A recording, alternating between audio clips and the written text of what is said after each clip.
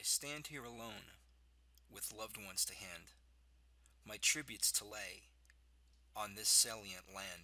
The voices within, as memories unfold, of a comrade at peace now, who shall grow not old.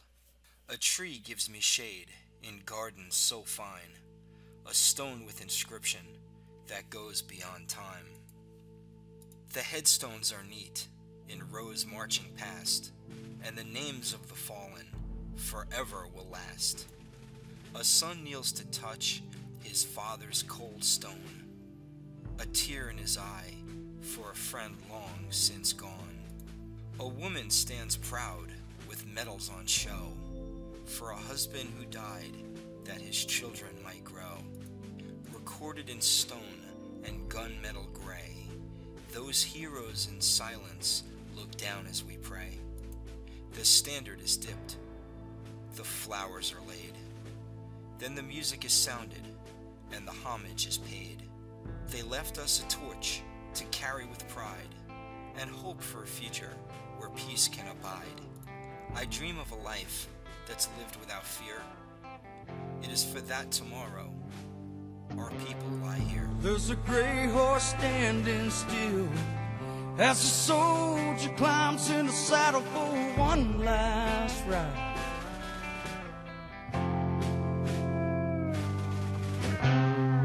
As the rain pours off his hat, you can see the shadows of the past written in his eyes.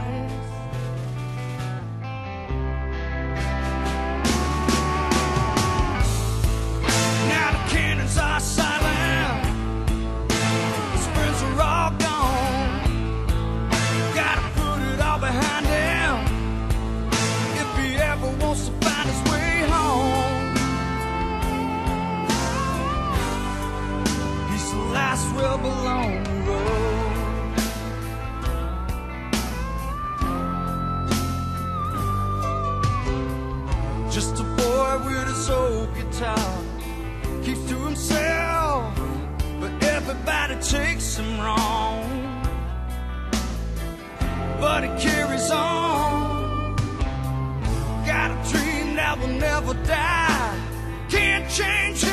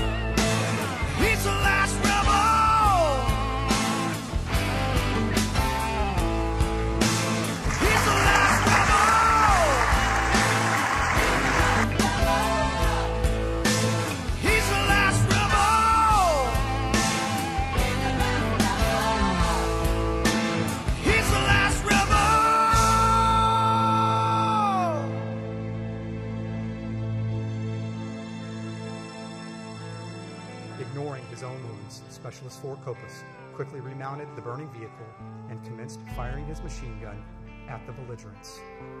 Braving the hostile fire directed at him and the possible detonation of the mortar rounds inside the track, Specialist 4 Copas maintained a heavy volume of suppressive fire on the foe while the wounded Americans were safely evacuated.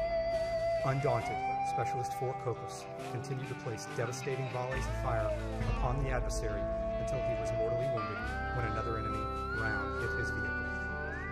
Specialist 4 Copas's daring action resulted in the safe evacuation of his comrades.